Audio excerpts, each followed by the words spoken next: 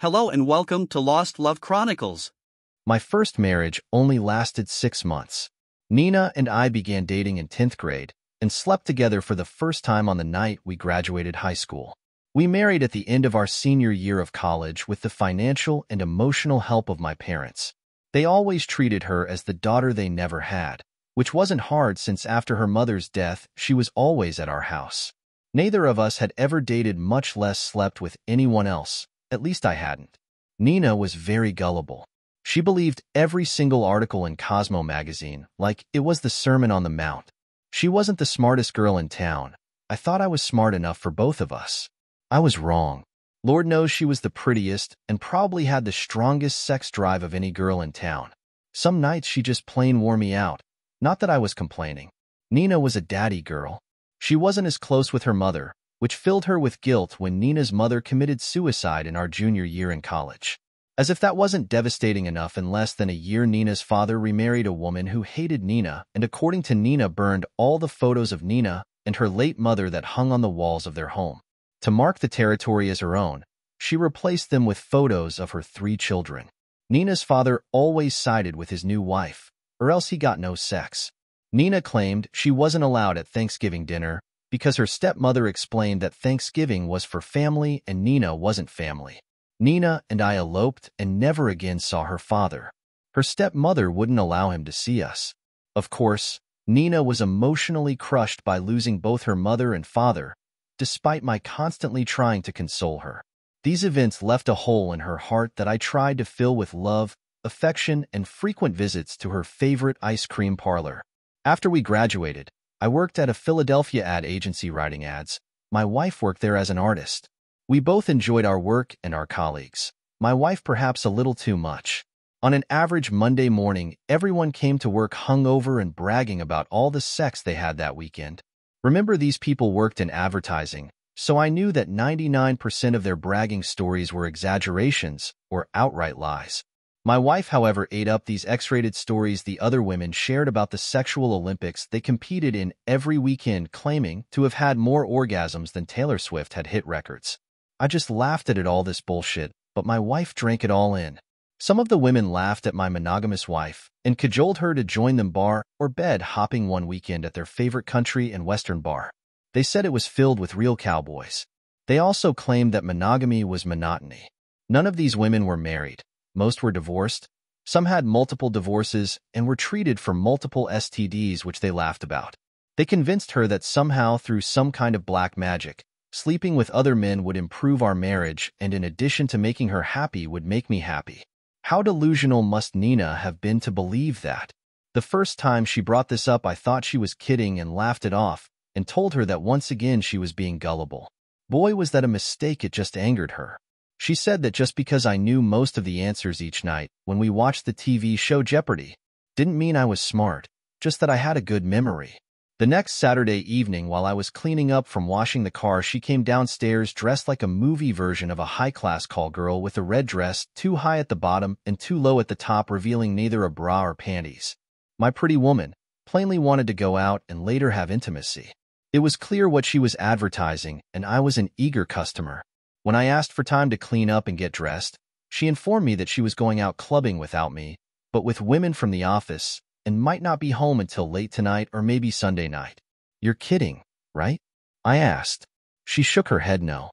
Are you out of your freaking mind? I yelled. She cried and said she was sorry, but I wasn't enough for her in bed that she wanted. Absolutely needed to experience sex with another man or two or three. She claimed that after listening to her friends, she too now craved a cowboy. Where in hell will you find a real cowboy in downtown Philadelphia? I asked. So, you're hell-bent on spreading your legs for some a-hole just because he's wearing a cowboy hat?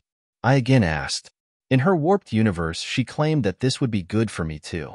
She would return a more accomplished lover. She was adamant about this and I knew arguing with her would be a waste of time. I could literally feel my heart breaking. The room began spinning, and I had to sit down before I fell down. I tried to catch my breath. My heart raced so hard it was as if I had just run a marathon. Even if I convinced her not to go this time, I knew she would sneak out behind my back in the near future. I breathlessly asked her how important this was to her on a scale of 1 to 10. She quickly answered 10. I rubbed my closed eyes. I hoped this was a nightmare and would soon wake up. But I opened my eyes and saw that this nightmare was real. When I asked her if this was more important than our marriage, she was silent and I knew our marriage was over. If you walk out that door, I will divorce you, I screamed. She turned to me and laughed. My friends say that if we divorce, you'll have to pay me alimony for the rest of my life, and I'll still be able to sleep with whomever I want. A car outside our apartment honked its horn and my wife ran out of the door yelling how I just wasn't man enough for her in bed. No one man was, but she would make it up to me when she returned because of how much I meant to her, though she had just demonstrated that my broken heart and my hurt feelings meant nothing to her. I cried nonstop in the shower, then packed my bags, left my wedding ring on the kitchen table next to a note telling my wife that I would see a lawyer on Monday, and since our marriage was so short, seek an annulment. I had no interest in staying around begging and playing the victim or pick-me game, while my wife pretended to be a call girl who wasn't even smart enough to get paid. At work on Monday, I was the laughing stock as my wife came into work with hickeys all over her neck and as she would later discover herpes. She stood at the water cooler giving a group of her co-conspirators or witches coven as I chose to call them, a blow-by-blow description of her weekend and I do mean blow-by-blow, which also pissed me off because she had never given me oral. Apparently, she needed two men at the same time to achieve the big, oh. I walked into my boss office, gave notice, and immediately left never to return, or see my wife again except at the annulment hearing. I gathered that my wife was glad that I ended the marriage because I was just a boat anchor preventing her from her sexual dream of sleeping with the entire Philadelphia Eagles football team to fulfill her sexual destiny or some such crap. Nina was however furious when the judge explained to her that the annulment of a six-month marriage didn't entitle her to any alimony much less the lifetime of alimony promised to her by her friends. The judge had to threaten her with contempt and jail time before she stopped screaming, but my girlfriend said, at him, though I am basically a vengeful person thanks to my mother's Sicilian heritage, I never thought of getting revenge on Nina. What she was doing to herself was far more destructive than any nefarious plot I could ever envision. I spent many an evening with a glass of bourbon trying to understand what had happened to my wife and my life. How did she go from zero to 304 so quickly? None of it ever made any sense to me. A few months later, I went on my first date of my life with a woman other than Nina.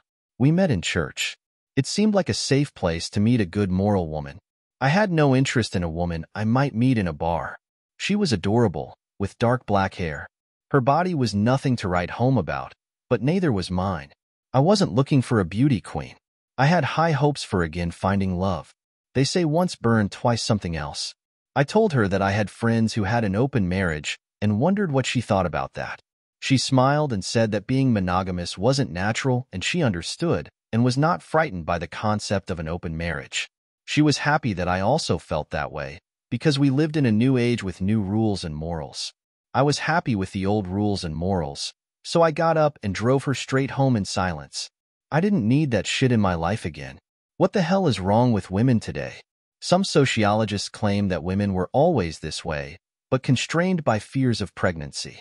Modern birth control pills changed all that, and now many women believe they were free of old fears and old morality. Two years later, Nina came to my apartment claiming that she would forgive me for annulling our marriage if we resumed our relationship. I laughed in her face. Then she began begging me to take her back. Though she didn't appear pregnant, when I asked how pregnant she was, she broke down crying as Caitlin, my new wife walked up behind me and put her arms around my waist. I am ashamed to admit that I smirked as I closed the door and never again saw Nina. I learned from mutual friends that she terminated the pregnancy and was racking up a body count greater than Jack the Ripper after visiting local bars each weekend. On some nights, she was passed around more than a bong at a pot party. About more two years later, I ran into her stepmother at a supermarket. She told me that Nina had a come to Jesus moment and quit being a 304. She moved a thousand miles away, surprisingly, along with her father.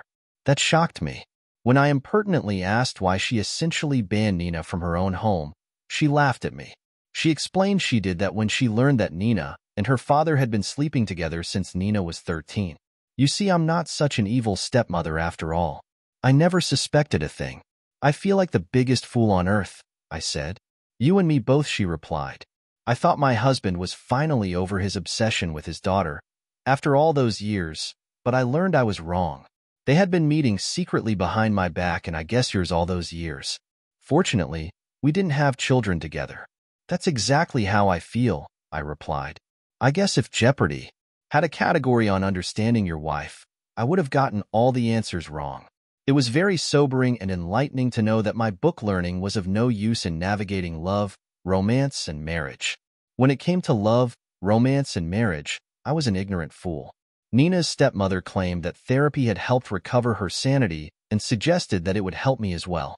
I thought about it, but decided that I didn't need it.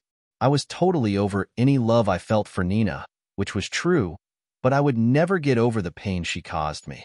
Even after my own personal experience with a six-month marriage, I never believed any YouTube stories about the wife of 30 years, saying, dear, we have to talk, and then informing her husband that she intends to cheat on him and expects him to put up with it and not to complain. How could a wife be that stupid? What husband would agree to that unless she had a gun to his head? How could the husband not see it coming? They must all be morons. I never believed these stories until it happened to me. Now all I can figure out is that once women begin changing life, not only do their libidos go down 50%, but so do their IQs. And apparently so did my IQ diminish with age, because like those other stupid husbands, I didn't have a clue this was coming. I thought that Caitlin and I were still a happy couple. At least I had been happy. My wife never had nights out with the girls, or went away on vacations without me. There were no clandestine phone calls in the middle of the night, and no new negligees in her closet or condom wrappers under the bed. The only clue that something was amiss was my wife's credit card bills. She was spending every dollar I made, and I made a lot of them, on new furniture, a new and ground swimming pool, a new Mercedes, and a great deal of jewelry. It was compulsive spending with no end in sight, despite my frequent pleas that she tone it down. The house wasn't in my name, only hers along with the first, second, or third mortgages on it. I guess you could say that she was spinning her way through menopause. She was the poster girl for shopping therapy. I guess I was guilty of working hard therapy. Caitlin and I met in Atlantic City six months after my annulment. I worked the night shift as a soda jerk at Hi Hat Joe's burger joint on the boardwalk while I waited for the fall semester to begin at Temple University. Caitlin ordered a birch beer, and because I couldn't take my eyes from her chest, which was less than 10% covered by a tiny bikini top, I overfilled the glass until it ran over. We both laughed. She told me I was cute, and that she would be on the beach the next day right in front of the Ambassador Hotel.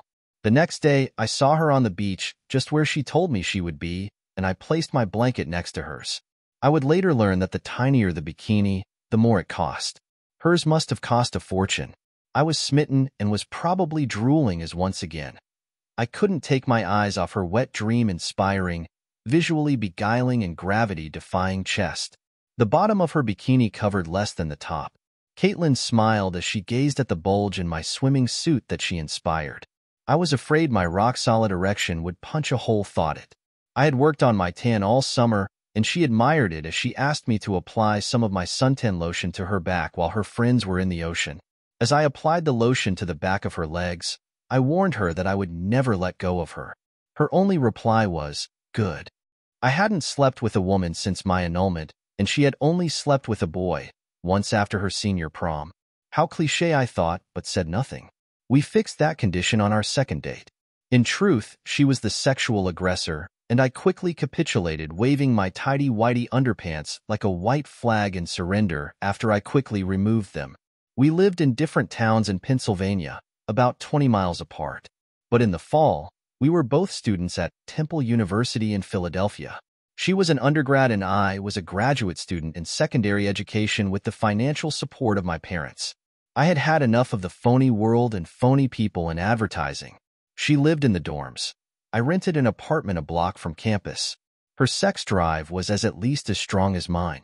We made love at least twice a day, seven days a week for the next three years except for that week when I had the flu and she made me chicken soup every night. I don't know when we found the time or energy to go to classes and graduate. I was the luckiest guy on earth. Caitlin never flirted or even looked at all the guys who followed her around Mitten Hall cafeteria like little lost puppies, seeking her love, her affection, and her body. She never had the time. After graduation, we both taught at the same high school in Abington, Pennsylvania, just outside of Philadelphia, and sometimes walked hand in hand in the hallway to the delight of our students and the annoyance of the principal. We traveled to Los Angeles when I was chosen as a contestant on the TV show Jeopardy! I was doing great, but the returning champion hit all three daily doubles and beat my $10,000 score with his 30,000. Even though I lost, I was proud of my performance, and so was her father. He had a newfound appreciation of my intelligence. He was also a Jeopardy! fan. Caitlin and I had saved every dime for three years, and then my father-in-law gave us the rest of a down payment for a house on condition that the house was only in my wife's name and that I quit teaching and work for him. We quickly had three children. Five years later, when my father-in-law died of a sudden heart attack, I took over my wife's family business. It was a stressful job with almost 100 employees to manage. I did a good job, and within two years increased our net profit by 8%, but at a cost of working my head off. I didn't want my life centered only on business or making money, but I had no choice. I gave up kayaking, fishing, and my other hobbies. I didn't go out drinking with friends. I spent every non-working hour with my family because my family was my life. I never cheated or even flirted with another woman. I wasn't in the market for another woman. It's not like I was blind and didn't appreciate a beautiful woman, but I would never jeopardize my marriage or risk hurting my wife's feelings. Once at a supermarket, we ran into Bonnie. It was the first time I'd seen her since we were 12 years old in summer camp where we liked each other and even kissed each other on the cheek goodbye at the end of the summer. She was still adorable, and she made it clear that she thought I was also adorable. We spoke for less than one minute, before Caitlin stormed over and brought an angry end to my reunion. She read me the riot act when we returned home. She was that jealous. One year for my birthday, my kids bought me a poster from the movie The Godfather where Michael Corleone tells Fredo, never take sides against the family. It became our family mantra. I worked long hours. Over the years, I put on about 20 pounds and my hairline began receding. I didn't have time to go to a gym and I looked it. I have to admit that I let myself go. It's not like I was spending my time at bars drinking. My life was confined to work and home. My wife worked out at a gym three times a week and gained maybe five pounds since high school, though she mistakenly always thought she looked heavy. Of course, our sex life slowed down to once or twice a week, then once a week, and then 25 years later less than once a month. I wanted more, but all of a sudden Caitlin didn't. She said it was hormonal. I suggested that she consult a doctor, but she refused. I suggested marriage counseling, and she laughed at me. Once, when I tried to turn her on by running my hand up her nightgown, she screamed at me and accused me of trying to assault her. She said if I ever again tried to touch her jugs, she would have me arrested. I was shocked by her accusation and never again initiated sex with her, or even tried to kiss her or hold her hand. In a, he said, she said, situation the husband always goes to jail, despite there being no evidence. My wife never mentioned, or perhaps never noticed my total lack of physical affection towards her. At first, I thought that my wife was suffering a mental breakdown and I begged her to seek therapeutic help, but she refused. For one brief second, I wondered if she was having an affair, so I checked her cell phone. It wasn't password protected, which in itself was a good sign. None of the calls were suspicious, mostly to her family, the factory where I worked, and some friends. It never dawned on me that my wife might have a secret second phone. I stopped worrying about an affair. I was guilty of being dumb and guilty of trusting my wife. Other than my first wife, she was the only girl I dated more than once, the only girl I slept with, the only girl I ever loved. I guess romantically and emotionally I was still a teenager in love, while I hoped that as she suggested, she was having a temporary hormonal crisis that would soon resolve itself. Then I prayed that we go back to normal. I couldn't imagine living without my wife. My wife as she used to be, that is, not the witch with whom I now shared my home and life. I refused to install cameras and recorders in our house or her car to check on my wife. If I secretly installed them and my wife found out it would destroy what was left of our marriage. My wife even apologized for threatening to have me arrested. She claimed she had no idea why she flew off the handle like that. I was relieved but was still too cautious to touch her. I was now sure the problem was mental illness and not adultery. Every night after dinner, we religiously watched Jeopardy! Now, however, when I came up with the wrong answer, my wife made fun of me and said she understood why I lost when I appeared on the show and I wasn't half so smart as I thought I was.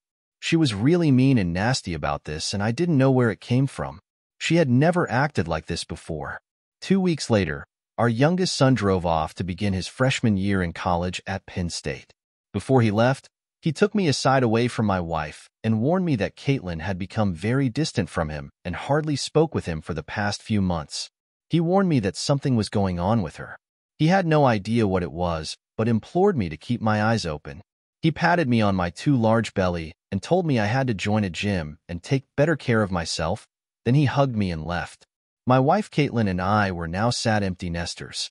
We sat down next to the swimming pool we had just built, with the help of a giant home loan that left her with little to no equity in her home and enormous monthly payments.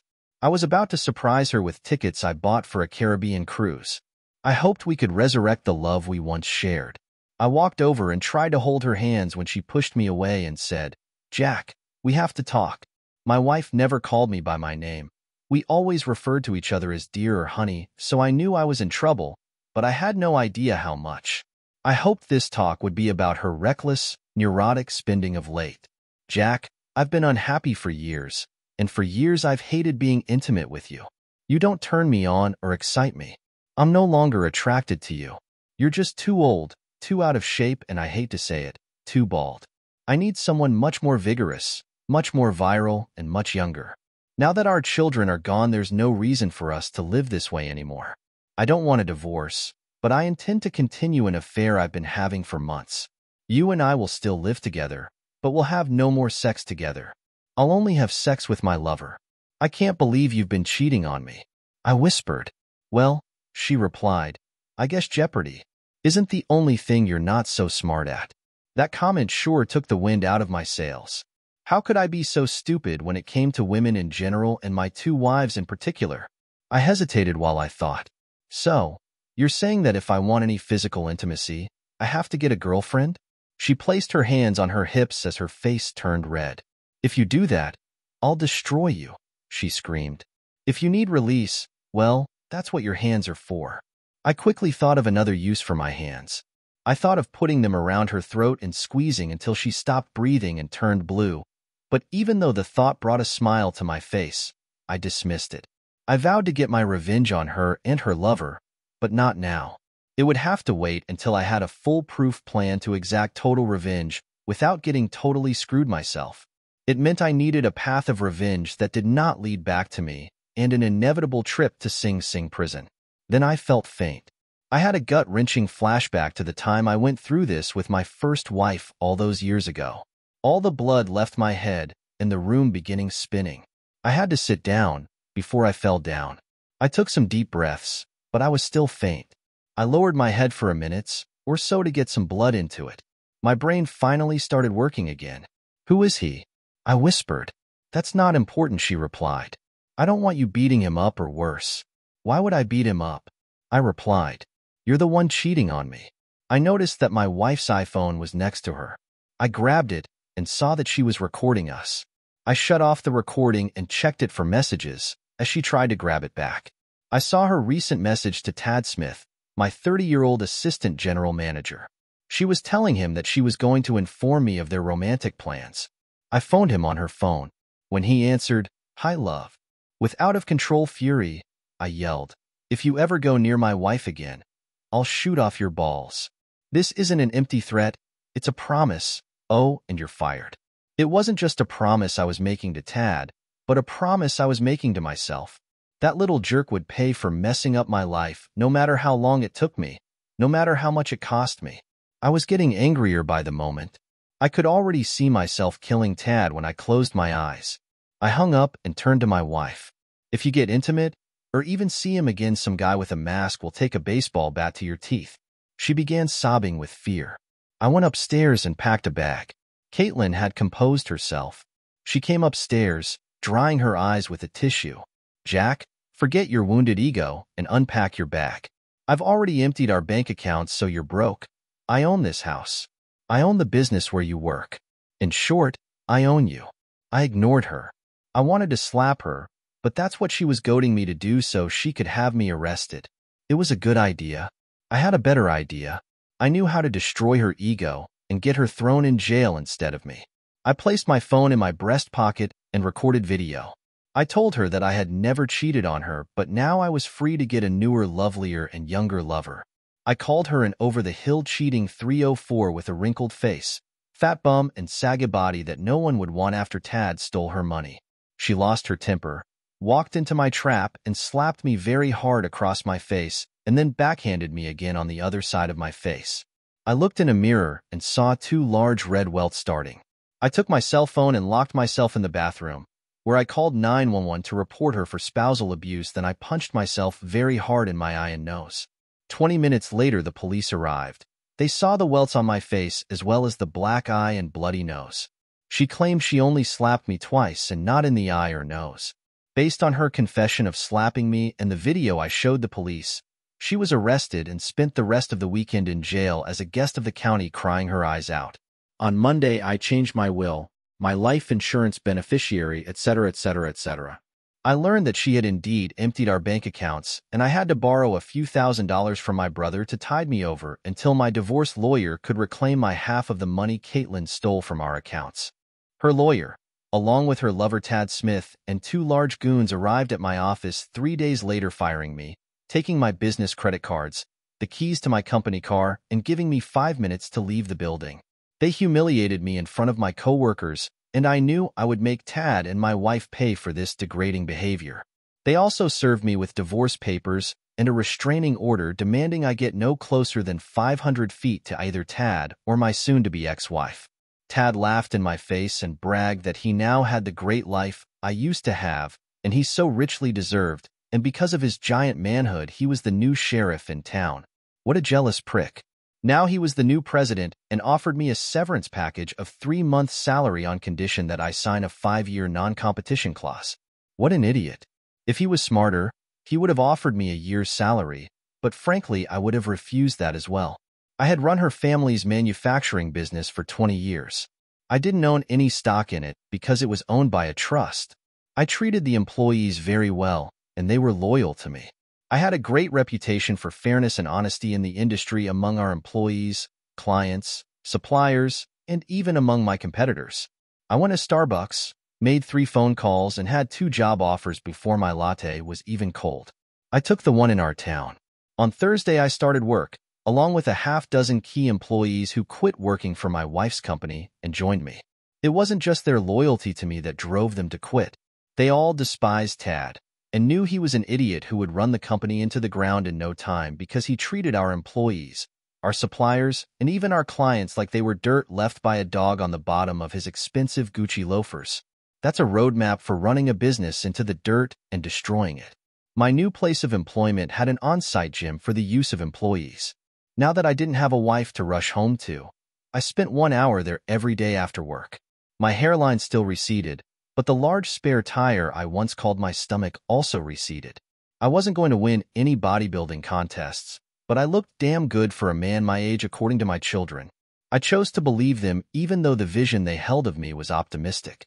Our children were shocked and didn't speak with their mother for months. When she phoned them, they only said, never take sides against the family, and hung up. I pleaded with them to see a counselor, but they refused. Sometimes they could be as stubborn as their mother. When after she begged them, they arrived at her house for Thanksgiving, they saw Tad and started to leave. At that point, Tad warned them that if they left, he would demand their mother cut them off financially for good.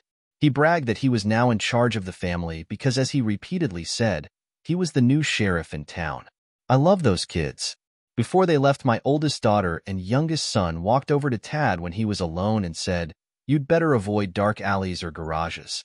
When the dust settles, my dad will beat the shit out of you and possibly cut off your dick. Or maybe we will. Less than a week later, Caitlin informed our children that at Tad's insistence, she had written them out of her will and would no longer give them financial assistance. I was more infuriated than they were. I bought a burner phone and played a recording of I Shot the Sheriff over it as I called Tad every month at my former home and played the song for him. I never spoke a word. I was told by friends who still worked for Tad that after Thanksgiving he was always protected by security guards when he was in the company garage. He was clearly rattled by my son's threat and my phone calls. His attempt to file a restraining order against me was thrown out of court because he had no evidence. A few months later, I was divorced and my ex-wife paid me a very large one-time settlement instead of continuing alimony. It took her entire savings and a bank loan to pay me. I took my children and their significant others to Aspen with a tiny bit of that money to ski and have an epic snowball fight. As I threw each snowball, I closed my eyes and pretended it was aimed at my ex-wife or her boyfriend. It felt great, but it didn't release my anger or need for revenge. It only increased it. Nine months after that, her company was on its last legs. It seems that a month after I cashed my wife's settlement check, a mysterious virus erased all the files on the company's computers, including their off-site backups. Their tax information, accounts receivables and payables couldn't be recovered. They were starved for cash, and since their suppliers weren't getting paid, they cut them off. The way Tad had treated them hadn't helped his cause.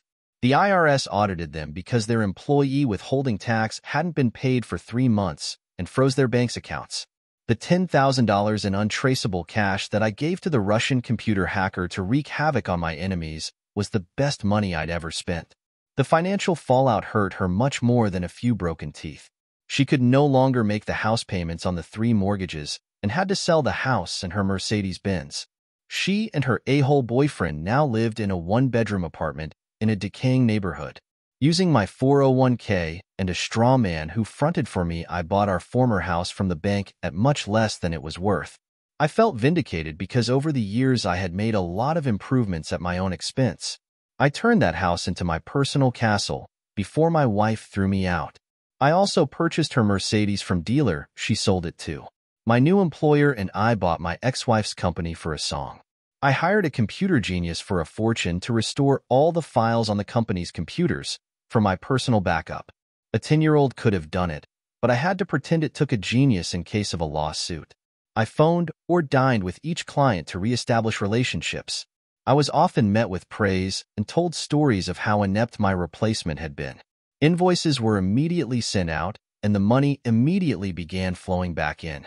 I personally visited each supplier with a check for what they were owed, and they all resumed shipments.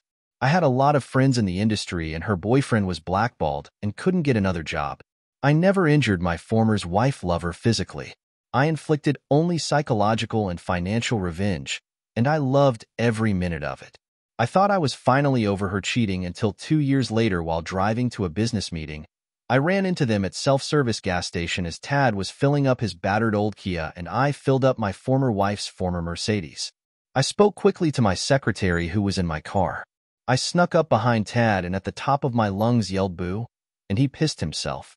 What a brave man you have. I smirked at my wife through the window of his car. You'll have to change his diaper.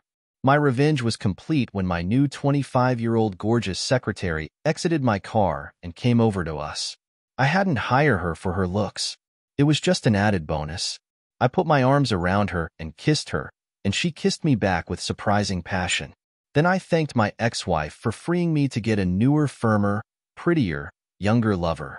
My ex-wife's eyes were flooded in tears as I drove off in her former Mercedes that she loved so much. In truth, my secretary wasn't my lover. She was just my secretary doing me a favor by kissing me in front of my ex. That night, I took my secretary and her husband to the best restaurant in town on me as repayment of the favor. I agreed that she could bring along Vivian, her widowed, and I was to learn equally gorgeous mother. I discovered that Vivian was very personable and funny.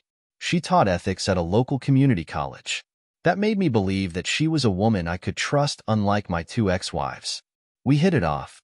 Vivian and I aren't married or even living together full-time, but we spend every weekend at my place, except when we travel with her children and mine for an annual ski trip and snowball fight in Aspen.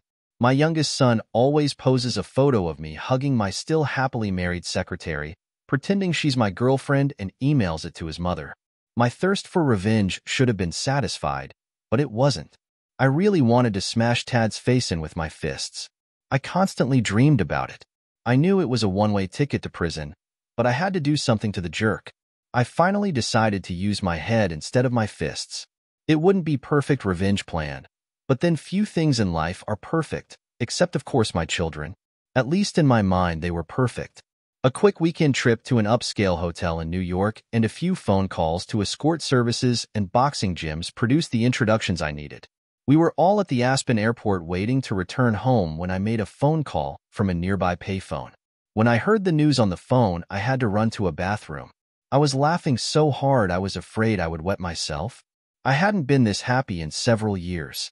While my family and I were 2,000 miles away from Philadelphia and had bulletproof alibis, Tad was at a motel with an absolutely beautiful woman he had met last week. After I paid her and her giant-sized husband $5,000 each to seduce, entrap, and physically settle with Tad.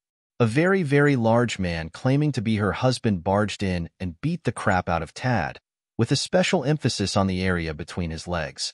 Then as the man and woman made a hasty escape back to New York on Amtrak, Caitlin, who had been informed on what was going on, barged in and seeing what Tad had been doing continued beating him until she was arrested. It is never a good idea to take sides against my family. My wife contacted our children and tried to reconnect with them and borrow money from them. She even offered to put them back in her will. They laughed at her because she was penniless and had nothing to leave them. She was so desperate that she even phoned me begging for reconciliation, or at least some money. I'd spent over $10,000 destroying her, and did in fact feel some guilt over it because of all the years I had unconditionally loved her. I gave my children $10,000 to give to their mother claiming it came from them, not me. Surprisingly, that act of charity gave me more happiness and closure than having Tad beaten up, well, almost as much. Dear listeners, these two amazing stories have been shared by Ronald Burns. He is an amazing writer and a very dear friend to us, also has been a great contributor towards our channel. Please support him on Amazon. We have shared the links in the comments section below.